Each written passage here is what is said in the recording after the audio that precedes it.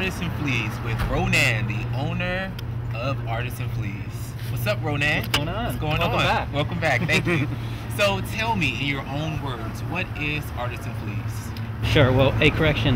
My wife and I, my then girlfriend and I, started the market, so she's also she's technically a co-owner, and I want to give props to her. right? Oh, co-owner. Okay. Um, what is Artists & Fleas? Artists & Fleas is a year-round weekend market um, where artists, designers, vintage collectors, budding entrepreneurs, food makers, and anyone with a collection, a cool eye for, for something interesting wants to come out and show and sell.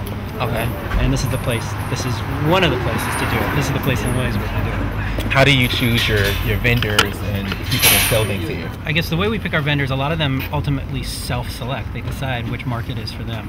Um, we don't go out there and say, "Hey, we want this person at our market." We sort of believe that that uh, there obviously are some rules. There's certain people that we, certain people who make certain things, import things that we don't necessarily welcome at this market. We Mhm. certainly encourage them to go find a market for themselves.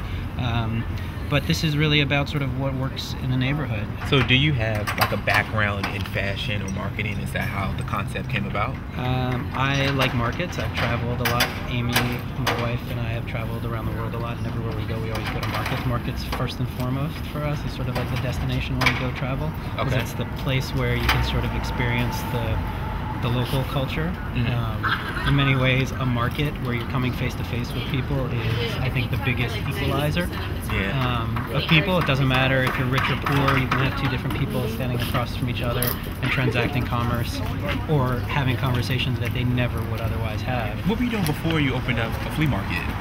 like, what did you?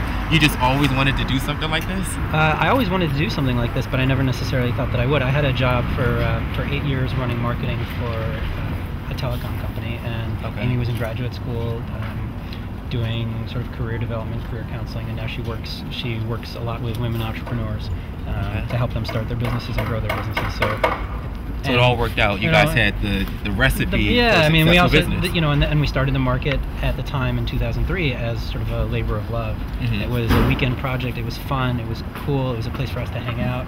Um, the neighborhood's changed a lot. Our lives have changed a lot, and for the most part, the vendors and sort of the whole world of like people who make a living doing their own thing has really changed. So now a lot of people really rely on the market as their source of income and on their art. But I feel like even people who are somewhat well off, to me, it seems like they're shopping at vintage stores or flea markets more now, or is that just a Williamsburg thing? Well, I don't know. I mean, I think that I think that people people you know to the extent that what you own is defines who you are, and Yeah. so trying to trying to express yourself uniquely the the only way to do it is you know I mean not the only way but one way to do it is like through your possessions through what you wear and finding things that you know aren't available everywhere that aren't mass market produced um, you know makes vintage very appealing. What's your favorite thing about owning a flea market in Williamsburg? What's your, your the, is it the fact that you can just walk in and meet different people? Is it I don't the know, I fact don't that you know. have first dibs on buying stuff before anyone else does? I mean, I really feel that it's a part. It, for me, it's an opportunity to be part of a community, Mhm. um, a community of business owners, of independent business owners, of people who are really invested in the neighborhood, Mhm. um, who are invested in sort of seeing the neighborhood grow and evolve, um, but kind of on our own terms. Um, so for us, we had we had an opportunity to move the market at one point in time, and for us, we felt it was really important that we stay here Yeah. um, because we felt that we're that we're sort of part of the fabric. I was talking to my neighbor over here the other day, and he, and he's he's a photographer. I mean, he sells a bunch of pre 1950s electronics equipment. Okay. Um, That's different. and, we, and, and he's a photographer, and, I, and we were talking about sort of like a Williamsburg then and now, and he's, he was showing me these photos of the waterfront that he used to take like in the early 90s, which is not a long time ago yeah. Of like people sitting on the piers. You know, one guy like polishing his gun, cleaning his gun, another person just sitting and reading their, their journal. You know, and he was like, he's like, I'm telling you, you know, there were prostitutes here, there were people shooting at tin cans, there were people like, you know, reading poetry and writing in their journals, and it was like a real random, you know, none of that. So yeah, not much of Wil- that so. Williamsburg has changed. Yeah, neighborhood's changed. Right? I also think that like what we're kind of experiencing now, um, you know, this sort of like Brooklyn state of mind. Yeah. Um, you know that, that certainly goes beyond the borough but the whole idea of like handmade do it yourself independent entrepreneurs and entrepreneurs sort of sounds like a loaded term but i think that every vendor in here is an entrepreneur is a business owner uh, we really sort of work on like on like cultivating like the creative class um, you know, there's markets where you can find a lot of food. There's markets where you can find a lot of furniture. There's markets where you can find a lot of wholesale stuff. Yeah. Um, you know, and all those markets have a place. And I think like, like we certainly we're big believers that like the market is ultimately the biggest judge of what works and what doesn't.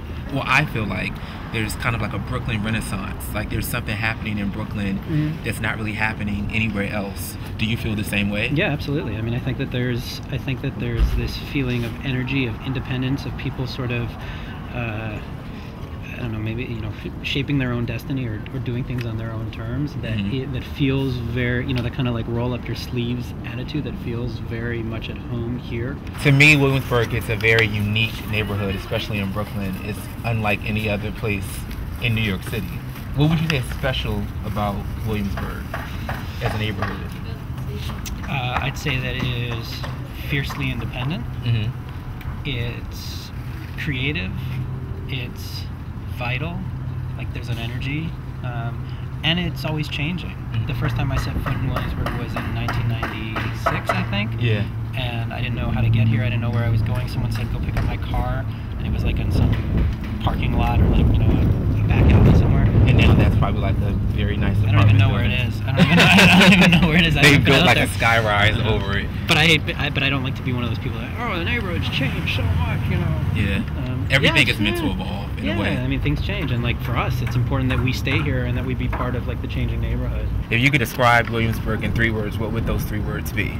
Three words: independent, creative, and adventurous. People are willing to take chances here. Hi, I'm Cynthia. Uh, I am one of the founders of Fancy Sexy Me, luxury with an attitude.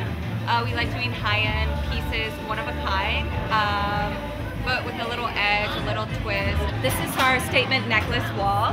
Uh, we have the scarflesses. These are the best pieces. Um, this one is one of my favorites. This one's called the rib cage. Um, and some of the findings that I use are recreated from my grandfather's uh, collection. Artists & Fleas is special because you have all these great, unique vendors uh, doing what they love, making what they're selling. Um, we come here every weekend. For me, it's like a weekend home. I love everyone here. Um, we just come together and like share and sell our stuff. So it's really great. It's a community sense. So I'm Ignacio. This is Pamela. From QP and Monty. And what's special about Artists & Fleas is the variety and flavor of the whole place adds to a great experience. There's food, there's music, there's there are interesting people, there are interesting things. So you can always find something to do here. What's special about QP and Monty, however, is that we are a, uh, a lifestyle, a QP Emporium. So we have a little bit of everything for everyone. I specialize in men's clothing. She does women's jewelry and vintage pieces. Come down to Artists & Fleas. We're here every weekend, Saturdays and Sundays, so come on down.